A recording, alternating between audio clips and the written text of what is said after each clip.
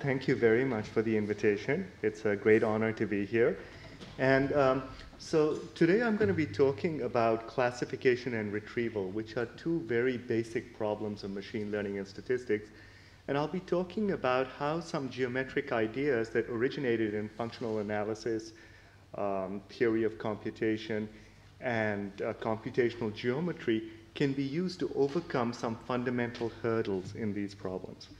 Okay, so let me begin by just defining these problems. Um, retrieval is a very familiar problem in computational geometry. The setting over here is that you're given some very large collection of items, x1 through xn, from some space x.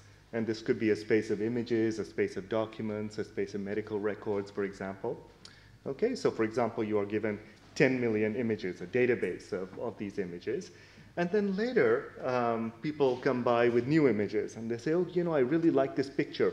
Can you find other pictures in your database that are just like this? Or can you find the closest matches in your database? Or a new patient arrives in the hospital and you say, okay, is there somebody in the, in the database that is very similar to this new patient? Okay. So uh, for this problem, the primary challenge is an algorithmic one. So one would like to be able to find the closest match amongst those 10 million images without actually going through all of them. Okay, and so this is a very classic problem of nearest neighbor search. In the classification problem, uh, again, you have a very large collection of items, uh, but this time each of them has got an associated label. Okay, so you have the 10 million images as before, but now they're labeled. This one's a cat, that one is a dog, this one's a giraffe, and so on. And now what you need to do is to learn a classification rule that takes any item in the set X, that takes any image, and then outputs a label for it. And hopefully this rule is something that has relatively low error. And the way it's going to be used is in the future, new items will be provided, and this rule will be used to label them. So here, the fundamental question is, um, is a statistical question, which is how much data do you need in order to learn a, a good rule? A rule that has high accuracy. Okay, so these are two problems that seem rather different. One of them is, one of them has labels, one of them doesn't. In one of them, the central challenge seems to be algorithmic, whereas in the other one, we're really asking a statistical question. But the reason I wanted to put them together is that it turns out that they really suffer from very similar bottlenecks. And um, the same geometric ideas can be used to handle both of them. Okay? So in, in both of these problems, a fundamental bottleneck or a, a fundamental parameter that affects the complexity of these problems is the dimension of the data. And so let me just uh, specify what that, what that is exactly. Okay, so suppose we're collecting data on heart patients that are leaving a hospital because, uh, for example, we want to predict whether it's safe to let them go. So we collect various measurements, you know, age, weight, temperature, blood pressure, and so on. And each of these is a number. And if we have d of these measurements, then we string them together into a d-dimensional vector. And we'll just say the dimension of the data is d. Okay, these are points in d-dimensional space.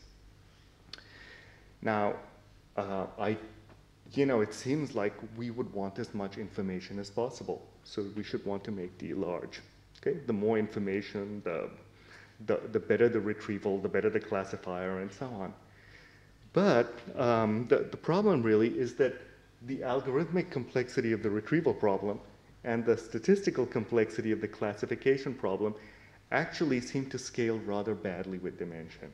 And this is something that I'll make precise a little bit later. So we're in this sort of a strange situation where ideally we'd want the dimension to be large because of the information content. But at the same time, from both the algorithmic and the statistical viewpoint, we have uh, this inclination to try and actually keep them small. Okay, and um, so what I'll be talking about today is a particular way to conceptualize uh, and manage this problem. And, and, and, and so what we'll be doing is that we'll say that um, this, this parameter d is actually a rather superficial way to measure the dimension of the data. Okay, it's the dimension, but it isn't really necessarily a reflection of the underlying degrees of freedom within the data. And often, the dimension is very large, but the underlying degrees of freedom are much smaller. And that's something that we would like to think of more as being the intrinsic dimension of the data. And we'd like to formalize a notion that captures that kind of intrinsic dimension. And now we would like procedures for retrieval and classification whose complexity scales with that smaller number. Okay? So, um, so just as sort of a high level, what I'll be doing is first introducing a notion of intrinsic dimension, which in many cases will be much smaller than this apparent dimension, the superficial dimension, which is simply the number of coordinates. Okay? Um, then we'll talk a little bit about classification, and we'll look at some standard methods and data structures for classification. And it'll turn out that these really do depend on the apparent dimension. They don't adapt to this intrinsic dimension. However, there are ways to change them very slightly just by introducing a little bit of randomness that completely removes this dependence on the apparent dimension and makes them depend only on that intrinsic dimension. Okay? And this will lead to improved statistical rates of convergence for the classification problem. And then we'll see that something similar can be used for nearest neighbor search and will yield a, a state-of-the-art method. Okay, so this is the um, overview. And what I'll do is, therefore, to start by talking a little bit about this notion of intrinsic dimension. And I've been, I've been throwing around these terms like degrees of freedom, so I just wanted to give a couple of examples. Okay, so one example is a, is a speech signal, you know, so what exactly is that? Well, you know, so I'm talking and this is agitating the air molecules and, uh, you know, a wave reaches your ear and in your ear you have a very thin diaphragm that is wiggling in response to this sound. And the speech signal is literally the oscillation of that of that diaphragm. So it's a, it's a one-dimensional time series.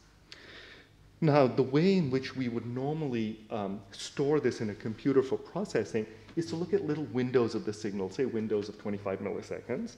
And so we look at a window and we have this continuous um, time series in there. And then we apply many filters. Okay?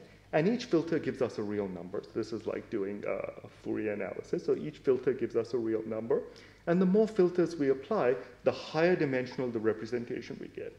Okay, so we can make the representation as high dimensional as we want. But at the end of the day, the sound was produced by a physical apparatus, my vocal tract. And that's a physical device with a limited number of degrees of freedom. Okay, so you can make the apparent dimension d as large as you like, but the degrees of freedom, the inherent degrees of freedom in the system are really much smaller. Okay?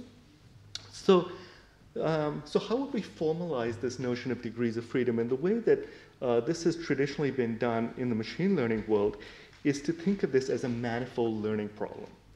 To say that we have data that's in some high dimensional space, but it doesn't fill up the space. The data actually lies close to a low dimensional manifold, a manifold of some dimension d0 that's much, much smaller than d. Okay? And um, and we saw the speech example. Let me give you another quick example, okay? And this is from motion capture.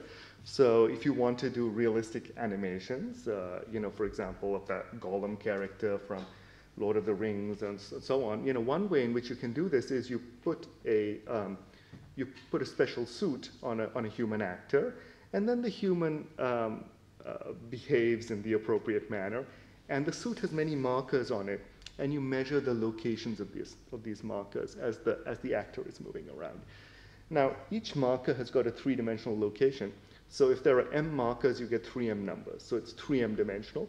And by making m large, you can make the dimension as large as you like.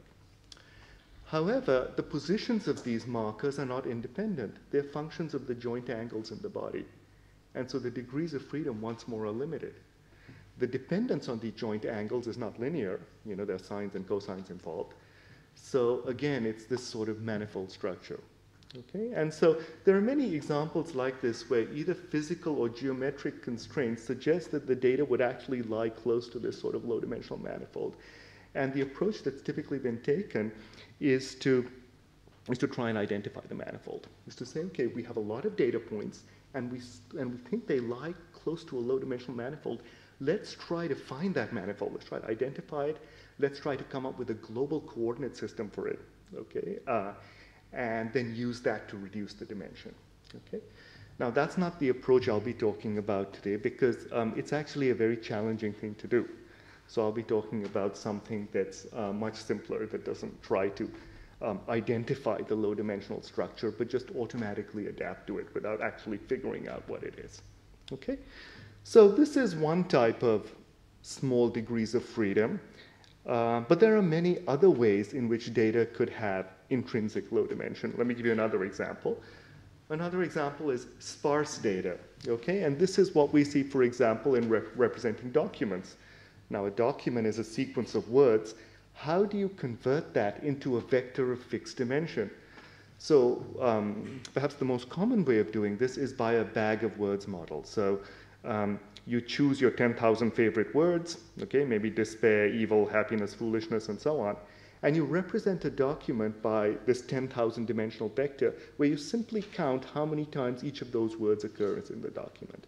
Okay, so you say, okay, in this document, despair occurs once, evil occurs twice, happiness occurs zero times, and so on. Okay, and the document now gets mapped into this 10,000 dimensional vector, or whatever the dimension is. So this is, again, a very high dimensional representation. But for most documents, almost the entire vector is zero. Okay, so if you have a document that has 100 words in it, you have this 10,000 dimensional representation, but at most 100 of the entries are, are non-zero. So what is the intrinsic dimension? Is it 10,000 or is it 100? And we'd like it to be 100, needless to say. Okay? So, um, so sort of the high-level point is that there are many uh, widely occurring types of low intrinsic dimension. And what we would like is a notion of dimensionality that captures um, all these different cases. Okay? And then we would like to come up with algorithms for classification and for retrieval whose complexity, algorithmic or statistical complexity, is really governed by this intrinsic dimension uh, rather, by, rather than by the apparent very high dimension. Okay? Um, so what is this notion of dimension that we'll use? Uh, well, we are still looking for one, but um, along the way, we have been using a notion that really goes quite a distance um, and that was introduced um, in the theoretical computer science literature. And this is uh, the doubling dimension. Okay, so this was introduced um, by Gupta, Krauthgamer, and Lee. But, but really, it's, um, it's, it's based on it's in, based on notions from the early 80s uh, by Patrice Assouad. And what this um, so, so here's the notion of dimension. Okay, so you have some set in RD. Okay, um, could be finite or infinite. It doesn't matter. Okay, and you say that its intrinsic dimension, its doubling dimension, is d0 if it has the following property. If you look at any ball in space, and you look at the points that fall in the ball, you can cover them by 2 to the d0 balls of half the radius. Okay, so let me give you some examples. Okay, so let's say, for example, that your data set is in very high dimension, but it's a line. Okay?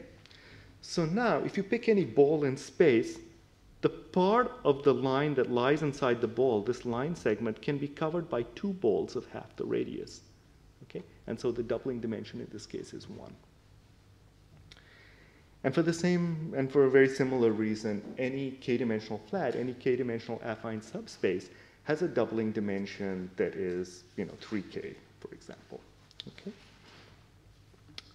What about manifolds? Well, um, under a curvature condition, manifolds are locally almost flat in uh, neighborhoods given by that curvature.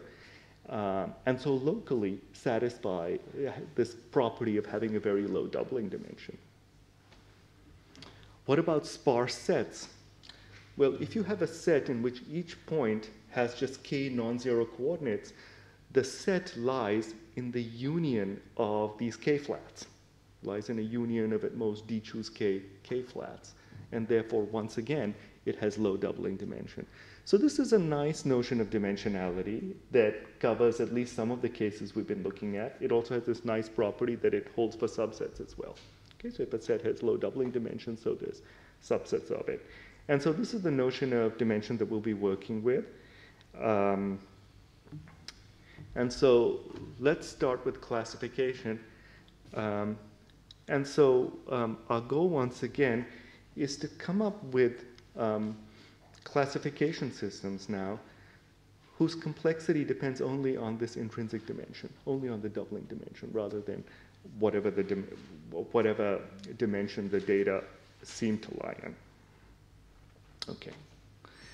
And we'll be talking about non-parametric classification. Okay, so the distinction here is so in a classification problem, you have to come up with a rule that separates the different labels from each other. In this example, there are just two labels, pluses, pluses and minuses, and you need to come up with a, a boundary or a rule that separates the pluses from the minuses. A very common practice is to assume that the boundary has a very sim simple functional form. For example, that the boundary is linear. Okay, and that's what's being done on the right. Okay. Uh, what we'll be looking at is non-parametric classification, which is the case on the left, where you make no assumptions about the nature of the boundary. And the nice thing about these sort of methods is that you can fit any type of function with it. Okay? However, you pay for this rich representation, for this expressiveness, with a very bad curse of dimensionality. And um, this was formalized in the late 70s and early 80s by Charles Stone. Okay? And so, um, so the question he looked at was the following. Suppose you have n data points, and you use those to build a non-parametric classifier, okay, like the one on the left. What error would we expect that classifier to have on future data, okay? And what he showed is that in general, the error is going to be like this. It's going to look like, uh, don't worry about the p, that's just a smoothness parameter. For if the boundary is Lipschitz, that would be 1. Um, but basically, the error is going to look like n to the minus 1 over d. And, what that, and that's actually very bad. What it means is that, for example, if you want to halve the error, you have to increase the amount of data by a factor of 2 to the d, okay, which is dreadful if d is large, um, say 100. Okay. Um, in fact, if d is 200, you know, 2 to the d is already more than the number of atoms in the world. Okay, so we would not expect that much data. So this is very bad. Um, th this is a very bad lower bound. And what we'd like to do is to see whether we can just convert that d to a d0. Okay, that's what we'd like to do. We'd like to have classifiers that really depend just on the intrinsic dimension rather than this apparent dimension. And it'll turn out that this is actually extremely simple to do. Okay, and to see um, how we do this, let's just look at a sort of a canonical, a prototypical way for doing uh, non-parametric classification. So um, a standard way of doing non-parametric classification is to take space and just divide it into little boxes. Okay, so you create all these little boxes and you make a prediction within each box. In this box, we're going to predict plus. In this box, we're going to predict minus, and so on. How do you create this partition? Okay, a popular way of doing this is the KD tree, which was introduced by Bentley and um, also further studied by Friedman in the 70s. Okay, and what this does is you have your n data points in d-dimensional space. You put a box around them, and now you pick a coordinate direction and you split at the median data value along that direction. So half the points go to the right, half the points go to the left, and then you recurse on the two halves. Okay? And in this way, you get a hierarchical decomposition of space into these rectilinear cells. And you keep going, you keep breaking it up until each box contains um, at most a fixed number of points, say 100 points or 1,000 points, and then you stop. Okay? Now, in order to classify a new point, you move it down the tree, see which box it lies in, and just return the majority label within that box. Okay, and that's a classifier right there, a non-parametric classifier. Now, this sort of classifier is known to be consistent. So as n goes to infinity, this recovers the true decision boundary no matter how crazy it looks. Okay, so this is definitely consistent. But what we really care about is the rate of convergence. And what governs the rate of convergence is the following. It's the speed at which the diameter of these cells shrinks as you go down the tree. Okay, so at the top of the tree, you have a cell. You have this big box. One level down, you have a slightly smaller box. Two levels down, you have a slightly smaller box. Three levels down, you have a slightly smaller box. And what depend and what matters is how fast those diameters are shrinking as you go down the tree. That's what controls the rate of convergence. If those diameters are shrinking rapidly, then the rate of convergence is very fast. And if they're shrinking slowly, then the rate of convergence is slow. Okay? So how fast are they shrinking? And it turns out that they're shrinking painfully slow. Okay? And the way we'll formulate this is to say that how far do you have to go down the tree to halve the diameter? So initially you're in a big box. How many levels down do you need to go for that diameter to be halved? And in general, you need to go d levels down, which is really bad. So in order to halve the diameter, you need to go d levels down, which means also multiplying the data by a factor of 2 to the d. Okay? So um, let's see an example of this. Okay, so here's an example of a very simple kind of data set where um, it lies in d-dimensional space, but the data is very sparse. Each point has only one non-zero coordinate, okay? So every point has just one non-zero coordinate, and it's between minus one and plus one. So the points lie along the coordinate axes, okay? So it's a data set that lies along these coordinate axes, okay? Um, and now let's build a KD tree on these. Okay, so the diameter of this data set is 2. It's the distance from here to here. And now you start by picking a direction, say x1, and you split at the median along that direction. What is the diameter of the two halves? It's still 2. You can imagine, uh, there's a little bit of tie breaking that's going on over here. So you can imagine that we add a tiny amount of noise to each point. Okay, so the diameter is still 2. You cut once more, the diameter is still 2. And you, you just keep going, and you have to do this d times in order to get the diameter down to 1. Okay, so this is a very bad um, um, rate of decrease of diameter, and yet this data set has low intrinsic dimension. It just lies along coordinate axes. It's a, it's a sparse data. It's a classic example of data that has low intrinsic dimension. Its intrinsic dimension is just log d. So this is a, a sort of a canonical way of building a non-parametric classifier we see why it's getting this 2 to the d rate of convergence.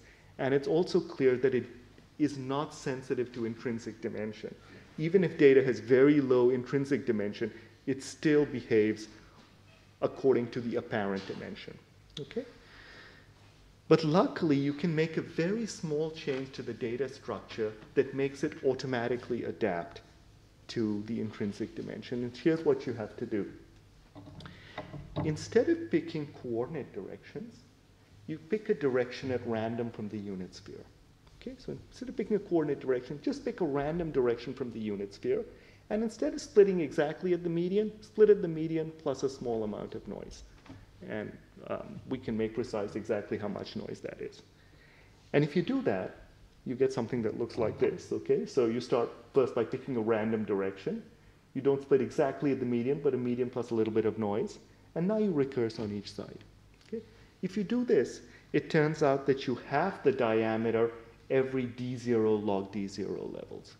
Okay? So all of a sudden, it doesn't depend on the apparent dimension anymore, and it adapts to the intrinsic dimension. It doesn't need to know what that intrinsic dimension is. It doesn't need to know what D0 is. If it's a manifold, it doesn't need to recover the manifold. But whatever that intrinsic dimension happens to be, it will adapt to it in the sense of having um, this much quicker rate of diameter decrease.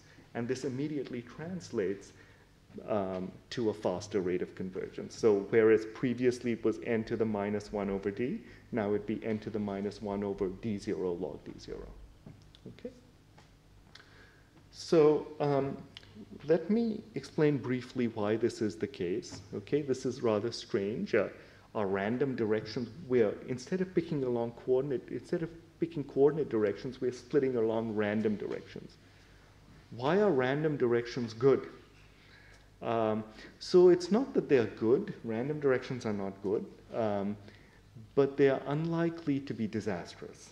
That's, uh, so first of all, they're unlikely to be really bad, and second of all, they behave in very predictable ways.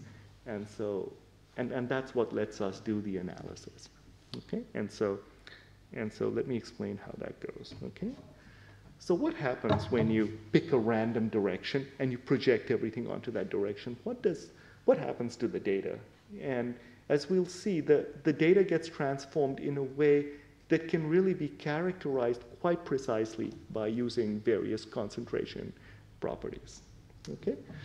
So, when I say pick a random vector, I meant pick a, random vector from the unit sphere in RT. That's almost exactly the same as picking it from a d-dimensional Gaussian, okay, whose variance has been changed slightly. Okay, this is also a spherically symmetric distribution. And if you draw a vector from this distribution, its length is very tightly concentrated around 1. So you might have to renormalize slightly, but it's, it's a very minuscule effect. Okay? So this is sort of the more convenient thing to work with, and then each point gets projected to u dot x. So let's see what happens to a single point. Okay, so let's say you just have one point and you project it onto a random line. So you've taken u dot x. Well, u is a Gaussian. Any linear combination of Gaussians is a Gaussian, so the projection is distributed as a Gaussian. And so u dot x, the distribution of u dot, of u dot x is Gaussian with mean zero and variance the length of x squared over d. And in particular, it means that the projection is concentrated within this one standard deviation or two standard deviations, however you want to take it. Okay? So the projection of this point looks rough, roughly like a uniform value in the range plus or minus 1, plus, plus or minus length of x divided by square root d. Okay, so the projection of a single point is, um, is very easy to understand. Now our data set unfortunately, has a lot of points. Okay, and we certainly don't want to take a union bound over all of them. Um, there could be infinitely many points. Okay, at no point uh, we are not assuming anything is finite. Okay, so what we want to know is okay, the projection of one point is easy to understand, but what about the projection of an entire set? Okay, and we want to avoid the union bound. Well, one thing that's easy to talk about is the median of the projection. Okay, so when you're projecting a lot of points, um, most of them will fall within this interval, but there's bound to be some outliers, okay? Um, but for something like the median, the outlier does not affect it, okay? And so that's easy to characterize. If the set lies within a ball of radius delta, then the median will lie within a very predictable interval of size delta over square root d. The median will lie within that interval, okay? But what we need um, is we're talking about diameters. And so we need to think about what happens to the diameter of a set when you project it onto a random line. Okay, so this is this one. So you have a set S and you project it onto a random line. What happens to the diameter of the set? Okay? Now, if the set is full dimensional, okay, something like this, and you project it onto a line, the diameter remains unchanged. Okay? But in our case, the set is not full dimensional.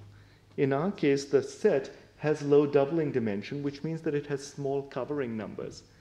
And so the set itself cannot possibly fill up the entire ball. The set occupies just a tiny fraction of the ball, okay, because it has these small covering numbers. And therefore, one would expect its diameter to shrink dramatically upon projection. And you can show, in fact, that the diameter shrinks by a factor of d0 over d, the square root of d0 over d. Okay? So the diameter of a, of, the, of a set of low doubling dimensions shrinks a lot when you project onto a random line. And again, in this very predictable way. Okay, and I won't go through the proof of that, but I'll just give you now the overall argument for why this, this so we started with this data structure, the KD tree, which is a very popular data structure because it's so simple, okay? And then we notice that it really does not adapt to intrinsic dimension, okay? But we said that, oh, you know, there's this little change you can make to it that, that, that makes it adapt to intrinsic dimension. All you need to do is instead of picking coordinate direction, pick directions at random from the unit sphere, okay? And if you do that, then the rate, then the diameter of cells shrinks very rapidly down the tree. Okay, the diameter of cells gets halved every d0 log d0 levels instead of depending on the larger d. Okay, so um, so let me just give you an overview for why that's the case. So let's say you you're building this tree, and now you're at some point in the tree, And these are the points in that in your current cell. Let's say it lies within radius 1, within a ball of radius 1. Okay, and now what we want to show is if we keep growing this tree another d0 log d0 levels, all the cells that are at that lower point in the tree will have radius less than a half. Okay, every one of those cells will be contained in a ball of radius less than a half. So how do you show that? Well, what we do is we start with this cell and we cover it by balls of radius 1 over square root d0. And how many do we need? Not many. Because the set has low doubling dimension, it has small covering numbers. It has epsilon covers of size 1 over epsilon to the d0. And so we need just a few balls. So all the points lie within these balls. Now we look at any pair of balls that's far away from each other, that has distance more than a half from each other. And what we'll show is that these random splits, if you take a random direction and split at the median, there is a constant probability that these two balls will get cleanly separated from each other. One will go on one side and one will go on the other side. Okay, so every time you split, there's a constant probability of cleanly separating these two balls.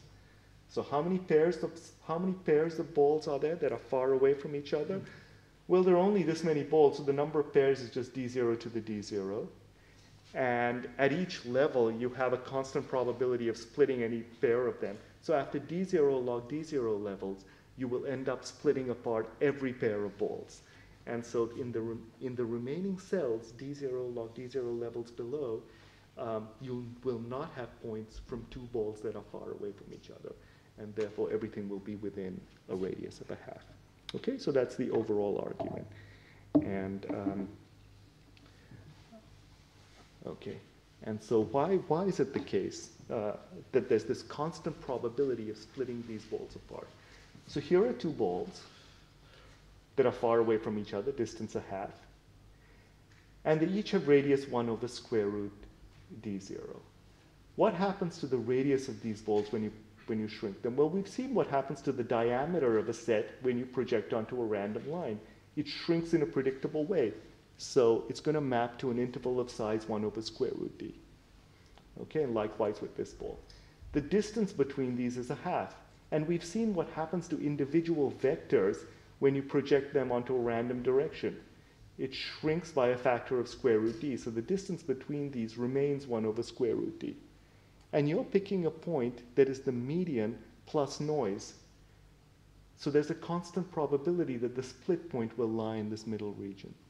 Okay, so the median value will lie somewhere in this middle region, and the split point has a constant probability of lying in this middle region, and therefore cleanly separating the two balls. Okay, and that's why you get this effect that the um, uh, that the diameter shrinks rapidly, and you get a faster rate of convergence. Okay.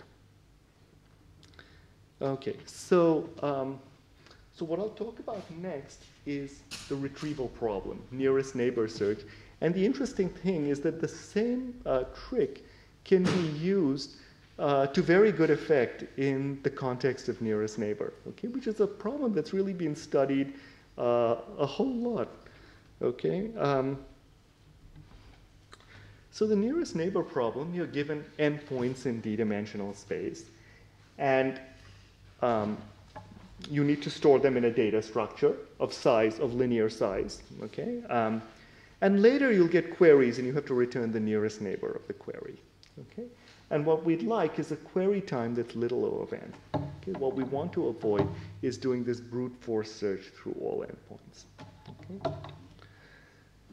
Now, if the points lie in one dimension, then we can just use binary search to get a query time of log n. Okay, and so the question has always been, what is the higher dimensional version of binary search? You know, what is it that we can do in higher dimension?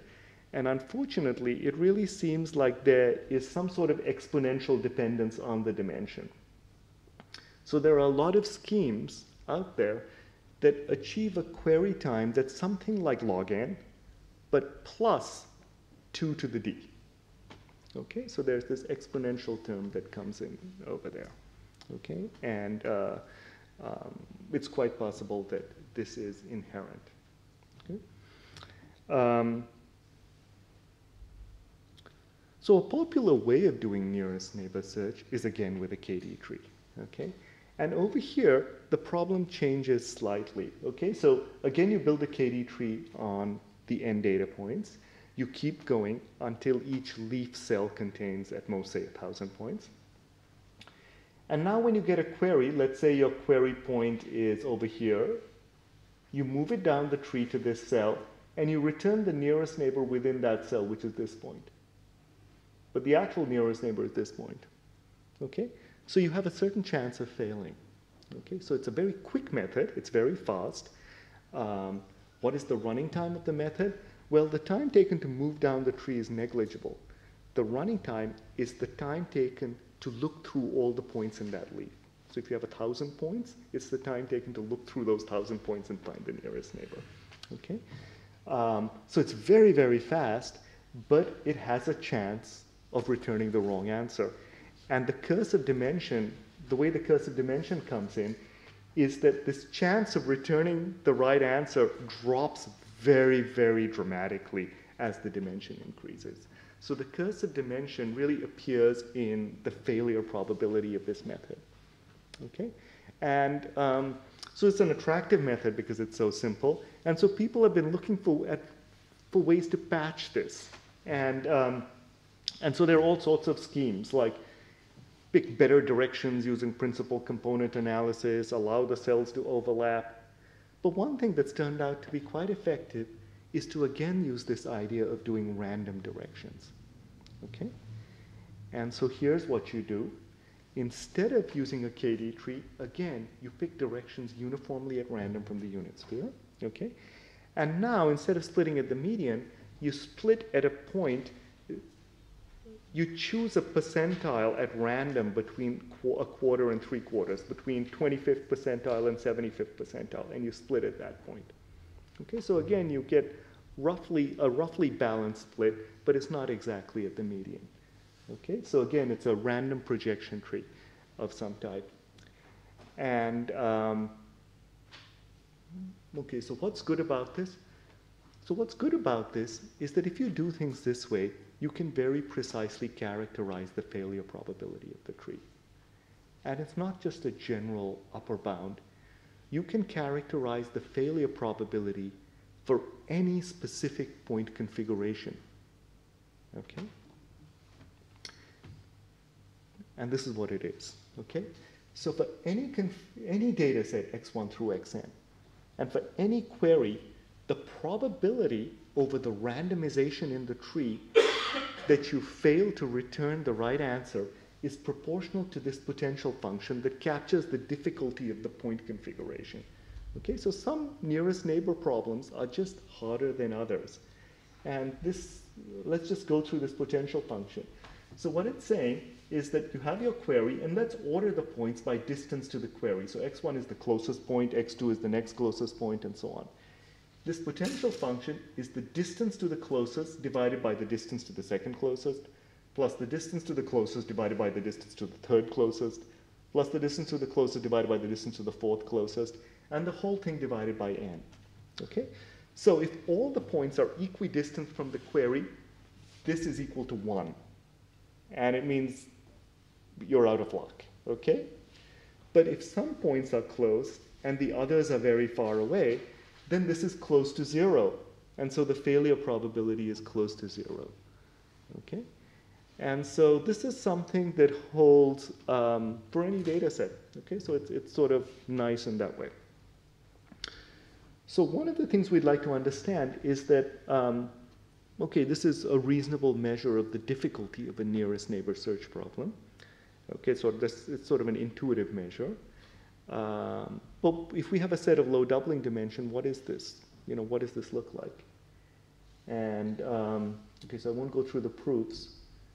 But it turns out that if you have a set of low doubling dimension, D0, basically it means that you get um, that this potential function can be bounded quite simply, and you get a query time which is log n plus d0 to the d0.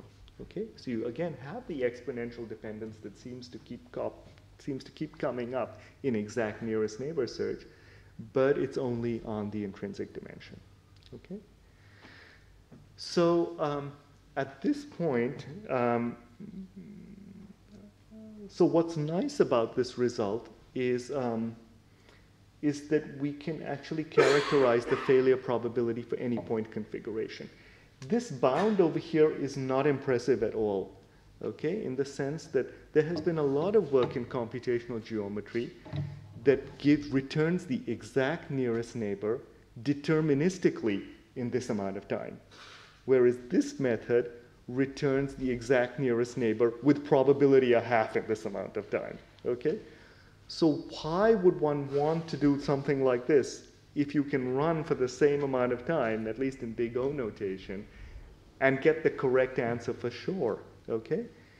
Um, and the reason is, uh, you know, is there any reason to use this? And there is, and there, and there, are two reasons, and this actually works very well. So the first reason is that it's very simple. But the bigger reason is that it's randomized, which means that you can make multiple copies of the tree. And this is the thing that works really well.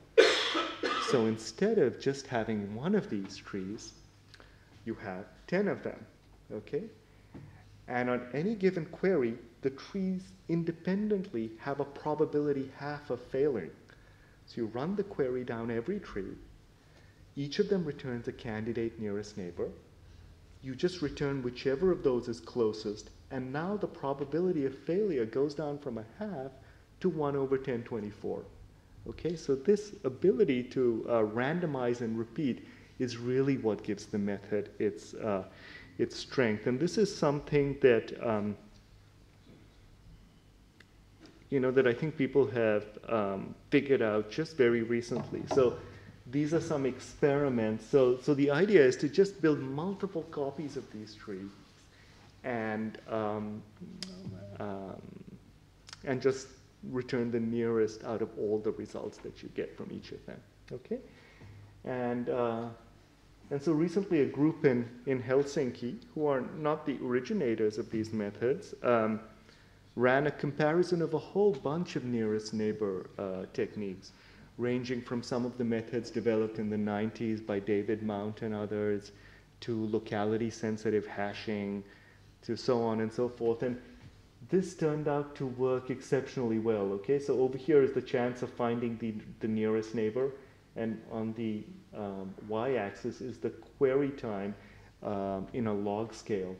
And the ones at the bottom are these forests of, of random projection trees. Okay, and for example, locality sensitive hashing is this line up here.